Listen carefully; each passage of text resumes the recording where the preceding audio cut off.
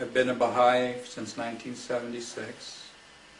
I've seen many, many incidents throughout that time, prior to the upheavals even on the internet, of things not being what appears to be.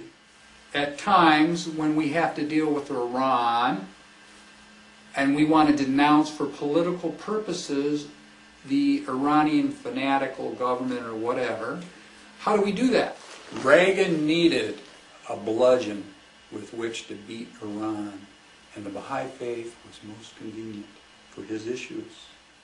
The Baha'is know they can use the governments along those lines when they need them. The Universal House of Justice of the organized Baha'i faith knows how to use the self-interest of the political unit, whether it's U.S. or certainly Israeli. There, there's a very long history of Baha'i involvement with uh, political authority of whatever stripe. Shoghi Effendi many times met with the Israeli leaders of his day.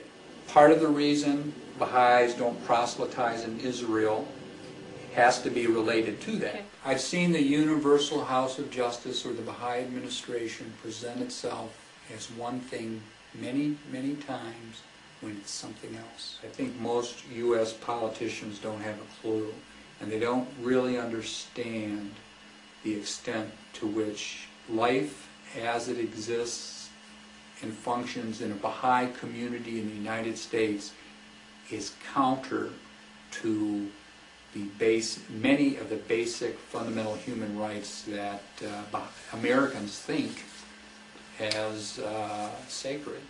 The, the most crucial thing to it is complete and absolute obedience, which gives it the power to mold, manipulate, shape, sculpt the personalities, minds, and hearts of its followers. People who are knowledgeable about ideas, feel comfortable and live in that realm, they're the ones who are persecuted and are perceived as a threat to the Baha'i administration. So Baha'i history, right from the beginning, has always been rewritten, reinterpreted, remade. And uh, that only continues today. And it has become more ruthless in the last decade or so, where we have Juan Cole, University of Michigan, tenured professor, being interrogated by uh, basically thought police from uh, uh, auxiliary board members of the United States Baha'i community and questioned about his thinking and ideas and beliefs and, and uh, pressure put on him to change his views and so forth. Many people talk about harassing phone calls, email, internet attacks of a whole variety, personal slander, abuse. It's very much in the self-interest of uh, the organized Baha'i faith to uh, obscure and downplay and conceal what it's done to people like Juan Cole, other academics, people just on a, on a more average kind of level of life, uh, not an academic background, have been treated the same way. There are many different shades of opinion and thought. We take that as normal and natural, and yet it is the, has been the emphasis of the Baha'i administration that that should not be the case with Baha'i faith. Their whole focus and emphasis is on obedience from the death of Abdul Baha on, a self-serving and increasingly coercive emphasis.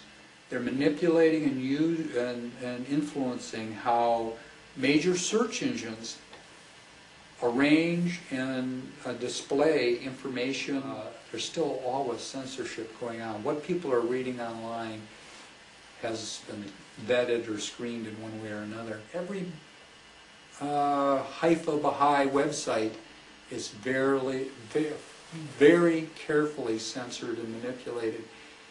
Uh, can't even begin to tell you to what extent. It's unbelievable to me. The non-Baha'i has no clue of what they're looking at. What they're looking at on the internet has been so thoroughly screened and sanitized as to create a certain perception. Any voice of, of disagreement, of exception, uh, disobedience as they conceive it, who doesn't toe the party line, is not allowed to go uh, undiscredited. Certainly, the idea that the Baha'i administration is run by and orchestrated by people who are not elected and who have entirely different purposes and motives from those that are publicly proclaimed to the American Baha'i community and others around the world, that idea has occurred to many, many people, not just myself. It may give you some inkling, a further idea of the difference between the public image of the Baha'i faith and what many people have experienced. I've seen the Universal House of Justice or the Baha'i administration present itself as one thing many, many times when it's something else.